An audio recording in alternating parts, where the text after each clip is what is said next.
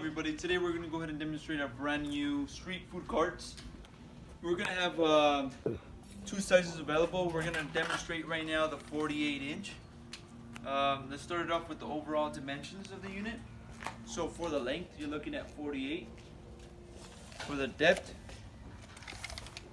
it's going to be about 27 and a half inches. And now the top counterpart it's gonna be 12 inches of the length, or I'm sorry, the depth. Um, now the unit also has a handle right here so you can push it around and it comes with the wheels on the bottom um, so you can move it around.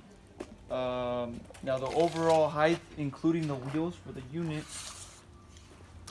you're going to be looking at about 51 inches high. This unit does have a glass cover also, has that curved glass to it for display you have your counter right here to prepare stuff or keep uh, food in on the top for customers to see.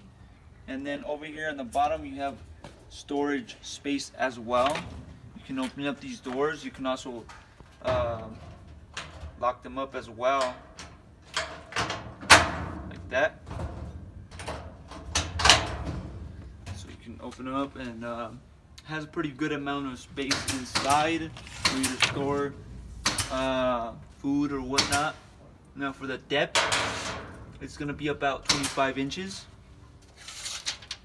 Left to right, you're gonna be looking at about 45 and a half inches. And then top to bottom, it's gonna be about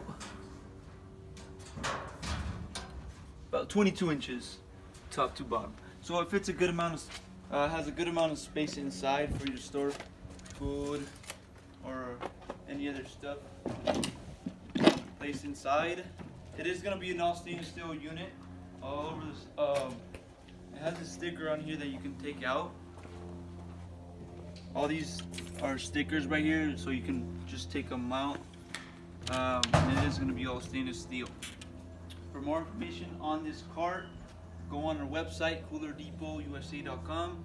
You can make a purchase for one of these on our website. Um, as I explained before, we will have two sizes available. So go on our website, check them out.